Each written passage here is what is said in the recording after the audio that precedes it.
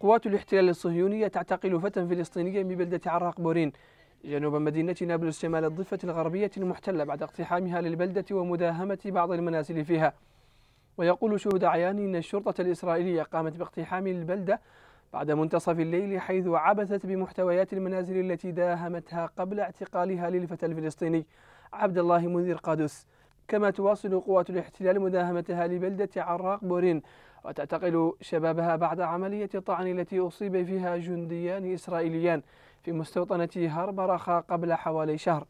وتفيد مصادر إعلامية فلسطينية أن قوات الاحتلال الإسرائيلية صعدت حملة اعتقالاتها ضد الفلسطينيين منذ انطلاق شرارة انتفاضة القدس شهر أكتوبر الماضي حيث اعتقلت عدة شباب فلسطينيين من مدينة القدس والخليل وبيت لحم وبلدة قباطية وبلدة سعير وعدة بلدات أخرى. وفي قطاع غزة نعت حركة الجهاد الإسلامي القائد الميداني في سرايا القدس محمد عابد البالغ من العمر 43 عاما.